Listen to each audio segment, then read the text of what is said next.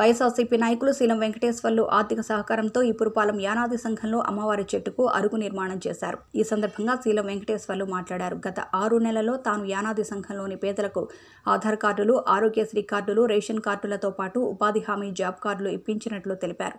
వీటితో పాటు సంఘం చుట్టూ ఉన్న కంప చెట్లను తొలగించినట్లు చెప్పారు. గత నెలలో ఈ కాలనీ పెద్దలు పాలపు సుబ్బారావు నక్క కనకయ్య పాలపు కోటేశ్వరరావు కాకినాడ పెద్దయ్య వీళ్ళంతా పెద్దలందరూ కలిసి నా దగ్గరికి వచ్చి అయ్యా మాకు మహాలక్ష్మి అమ్మవారి చెట్టు ఉంది మేము నిత్యం పూజలు చేసుకుంటాం.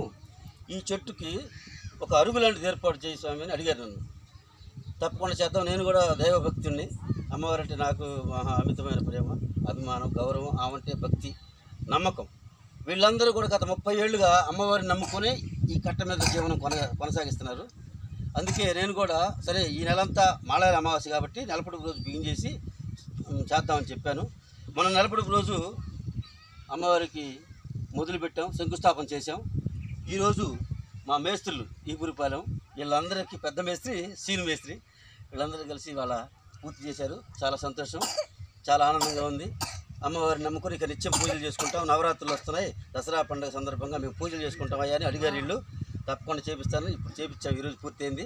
సంతోషంగా రేపటి నుంచి వీళ్ళు పూజలు చేసుకుంటారు.